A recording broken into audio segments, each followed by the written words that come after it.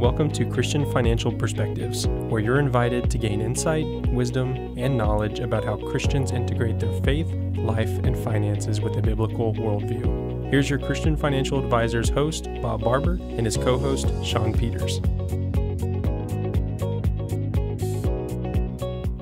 Welcome to another episode of Christian Financial Perspectives. Today we're going to be covering part three of our three part series on biblically responsible investing. Now, if you like videos on finance and investing related topics, but from a Christian perspective using biblical principles, mm-hmm. I would encourage you to smash that subscribe button and like this video. Now, I want to do a quick recap. We're going to be covering part three, of course, today, but part one, we covered the definition of biblically responsible investing, the history of it, how it's not ESG, and the many biblically responsible investment choices that we have today now. And in part two, we actually covered the positive screens that we look for in biblically responsible investing, the negative screens, and the technologies that can be used to actually make do these screens with examples. So if you haven't already, we're going to have links in the descriptions, and we should have those uh, videos shown on screen. So definitely encourage you to go watch those. But otherwise, you have been warned. Spoilers ahead. If for those of you who haven't watched those two episodes, Bob, what are we covering today? And those are some good episodes. They, they really are. cover a lot of, especially with those uh, evaluator and inspire reports yeah. that we have. So uh, we'll we'll wait so, a second. Go ahead, go watch those. No, All right. If you're still here, okay, you've back. either watched right. them or you didn't listen. And let's let's go on to part three. So today we're going to talk about why biblically responsible investing is so important, especially for mm-hmm. a Christian with a biblical worldview. And we're going to go into the scriptural basis and why and what Scripture says and that is so important about being BRI or biblically responsible. and that's responsible. the B in biblically responsible investing. Hey, there you go, the Bible. That's, right. that's exactly right. And how BRI makes a difference even in the marketplace, and that's mm-hmm. where we we want to have it. We want to make a change, a positive yeah. change. Yeah, we mentioned that a little bit in part two. So, all so right. why is BRI so important, Shawn? Well, it sheds light in the middle of the darkness and exposes it. You know, it really does, doesn't it? It's it's like because when you come into the marketplace and you're making a difference with how you even invest, and you're saying, mm-hmm. I'm not going to invest in these companies involved in immoral activities, and I'm actually going to look for companies that are abiding by biblical values.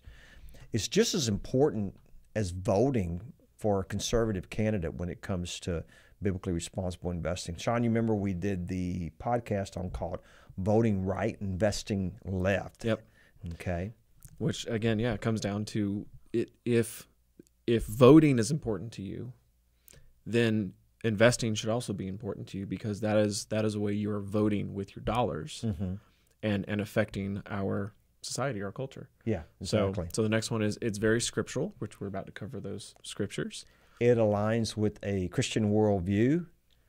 And finally, biblical responsible investing is pro life, pro family, and pro God. It gives light to darkness. So the scriptural basis for BMBRI is there's several that we've picked, but there's literally hundreds oh, yeah. that we could pick from. Can I, can I, get dibs on this first one? You sure can. I yeah. love this one. Yeah. Uh, Psalms 24 1 The earth is the Lord's and everything in it, the world and all who live in it. This scripture I really almost said that one that. earlier. Yeah, yeah. you, you, you're getting it memorized because we we spend a lot of time on that. I believe that is probably the number one scripture when it comes to stewardship yeah. in the Bible.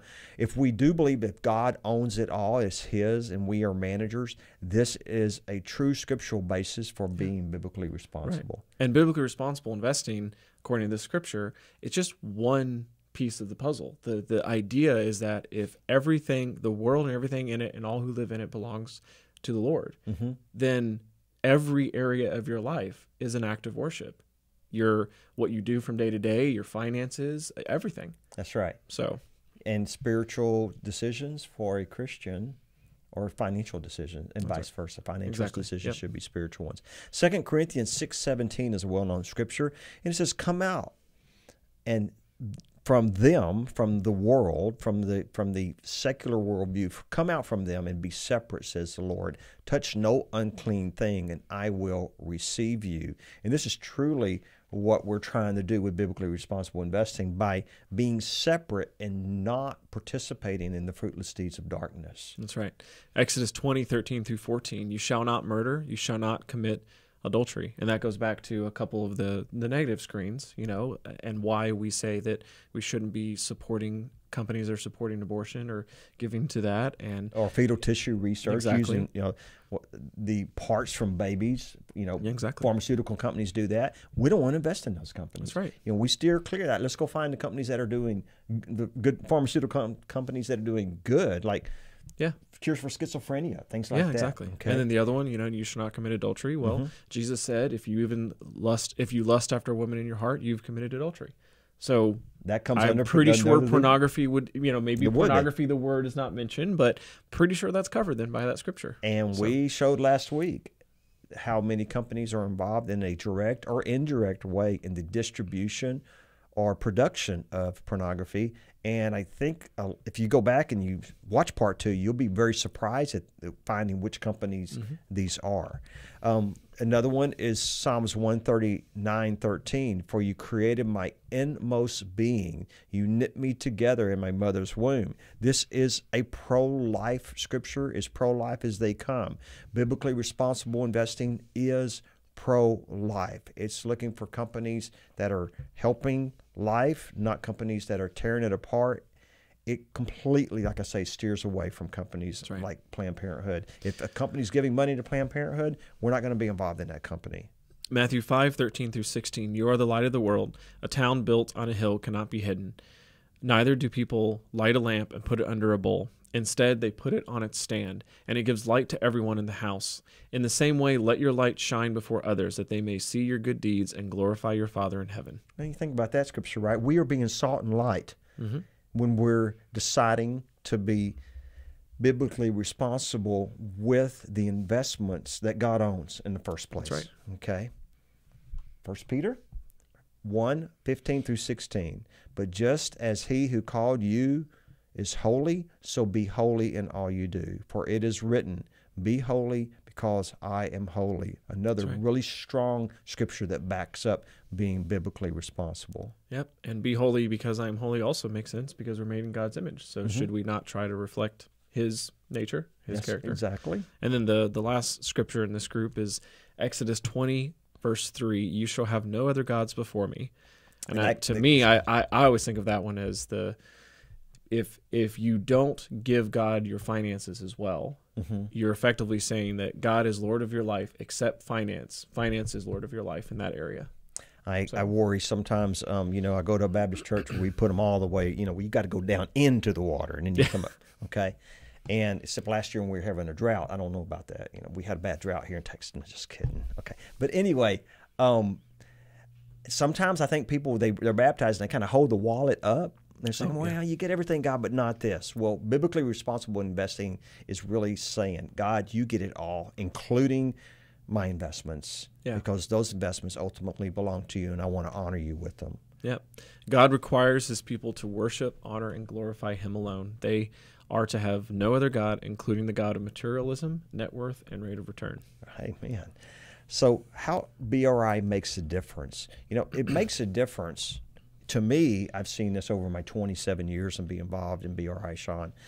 It makes a difference in my own life and in my soul. And it, it, it's taken me into a much deeper relationship with God.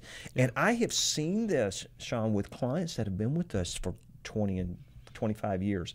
Their relationship with God, this is another form of worship, like you said. It's saying, okay, God, this belongs to you.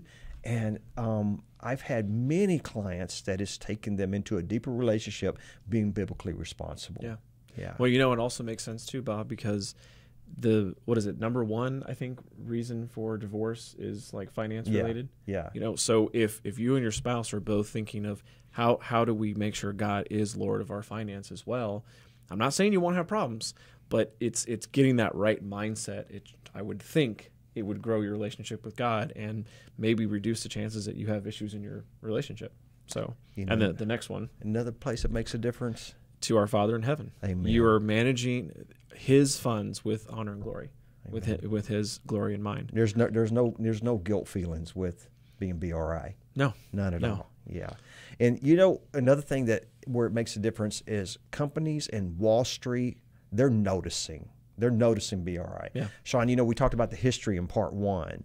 And um, I remember when to start off with just a few thousand dollars. I remember when Art Ally, the founder of the Timothy Plan, he was a laughing stock of Wall Street. They're like, "This is not going to work. You're crazy." Yeah, who's going to want to invest like this? And now there's billions and billions and billions of dollars invested in biblically responsible I mean, companies. how, how many billion? Like when you think of some of the companies that we we work with a lot Yeah. as well, you've got Timothy Plan. I, I could easily say it's over ten billion. Easily. I mean, Eventide's got what? What are they like seven or seven billion or so on their Yep. six or seven billion on Yeah. their own? yep. I mean, we're at least in double digits at this point of billions. That's right. And Timothy's And right. that's just Timothy's between like three. five. And so yeah, Yeah. you start you start adding it up, and it is really it is making a difference because we're also the difference that it's making is we're holding companies accountable to illicit behaviors and supporting anti-biblical agendas and behaviors. Yeah. We can actually move their stock price now because we've we are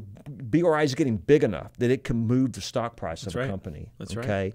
And we've had some very positive things happen with some Fortune 500 companies that they were starting to support some of these illicit behaviors Yep.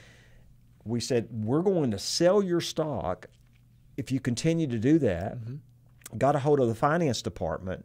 Uh, Robert Netzly did a from Inspire did a great program on this, and um, I saw him do a speech on this and how he got this major company. I mean, I'm not going to mention the company, Right. But it's big, and he got them to stop funding the gay pride parade Yeah. and because of that and they they said you know we didn't realize that was happening they pulled back the finance for that Yeah. okay so that that is a good thing we have a- we have a voice and if, enough christians will come together through the Yeah. bri movement Yeah, Okay. and, and I, I'd like to say one thing on that, Bob. You know, Okay.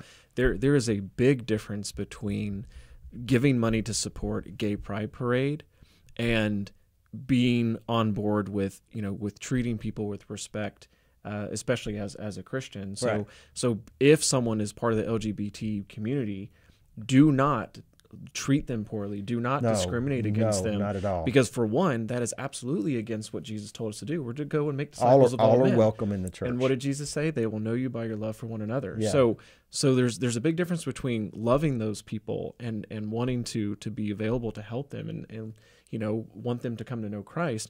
But that is not the same as oh I want to take money or I want to invest in a company that is taking money off the profits and paying to promote that Right. very thing. Those are two very different things. But I just want to make sure people don't get that confused as as you know they're not the same. That that's all. and, and so if you know the, if the company makes widgets they need to be in the business of making Yeah. widgets not supporting agendas that violate biblical Yeah. principles And if I if I had a choice, I would say, you know what? If if no companies were were very Christian leaning, but they were they just remain neutral, they just didn't get involved in either, either way. That's fine. Mm-hmm. Yeah, like absolutely. just let in, let the individuals let let those individuals make the choice of what they want to you know vote for and support. Just stay out of it. Well, I hope this three-part series we has been very in, informative to you on biblically responsible investing. If you did not hear part one and part two, I really emphasize that you go back and Links you watch those or listen to those, and we hope that through this faith-based investing, we've touched your heart. And if you would like to align your Christian faith with how you invest, then we are here to help you do that. And you can find out more by uh, giving us a call at 830 609 6986 or texting that number as well uh, during regular business hours, Central Standard Time. Or you can find out more by going to our website to ChristianFinancialAdvisors.com. And remember, this is the last thing I want to say being biblically responsible in your investments is pro life, pro family, and pro God. it, it gives light to darkness. That's right. Thank you for joining us, and hope you join us next time. God bless. Thank you so much for watching. If you enjoyed that video, be sure to like and comment and subscribe to our channel so you can get future updates. You can also follow us on social media, handle shown on screen. In the meantime, check out one of these other videos.